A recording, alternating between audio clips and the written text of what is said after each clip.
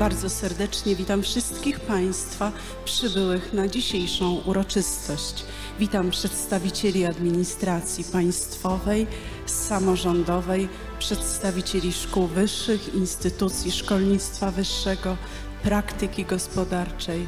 Witam członków Senatu, przedstawicieli doktorantów Uniwersytetu Trzeciego Wieku, przyjaciół, bliskich, rodzinę naszego doktoranta.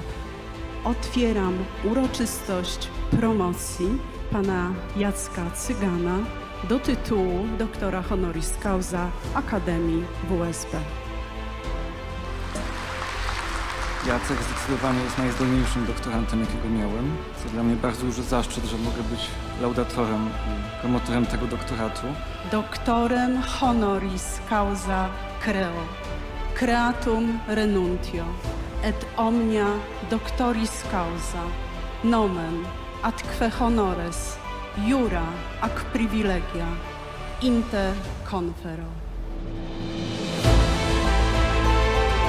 Nasz mistrz sławi Zagłębie i doskonale rozumie zwrot, słowo carpe diem. Tworzyłeś moje życie, wpływałeś tekstami, to jest oczywiste dla wielu z nas, ale jestem dumna z tego, że Cię znam osobiście. Razem, jeden, wspólny, w Sosnowcu spędzimy czas. Szukaliśmy najlepszego prezentu dla Ciebie i doszliśmy do wniosku, że rzeczą dla nas jakże istotną i wiem, że również dla Ciebie jest to, że pochodzisz z Sosnowca, dlatego wypis aktu urodzenia dla Ciebie.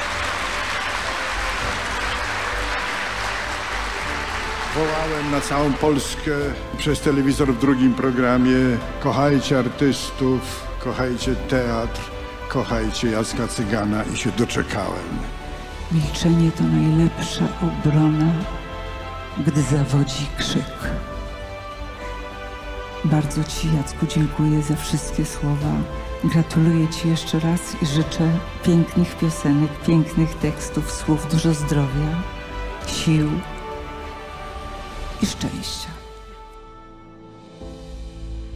Chciałem z tego miejsca podziękować wszystkim kompozytorom i wszystkim wokalistom i wokalistkom, wszystkim muzykom, którzy przez te lata ze mną pracowali i są częścią tego mojego doktoratu honoris causa. Siłą ludzkiego ducha, z małą pomocą nieba,